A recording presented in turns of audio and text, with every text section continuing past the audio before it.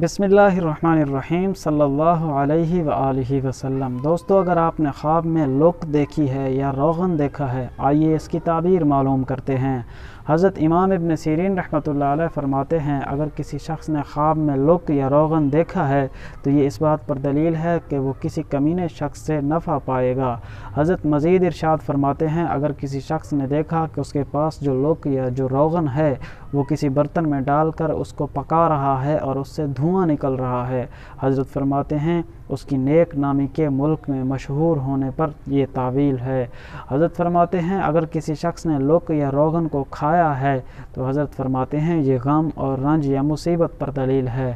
اگر کسی شخص نے خواب میں دیکھا، اس کے ہاتھ میں چھری ہے اور چھری کے اوپر وہ لک کو یا روغن کو لگا رہا ہے۔ حضرت فرماتے ہیں کہ وہ دو دانا اور پارسا لوگوں کے درمیان صلح کرنے کی دلیل ہے۔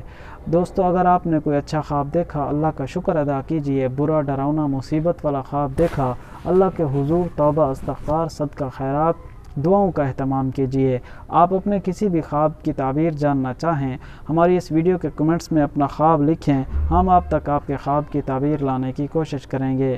چینل سبسکرائب کیجیے ویڈیو لائک کیجیے ملیں گے اگلی ویڈیو میں۔ اللہ حافظ۔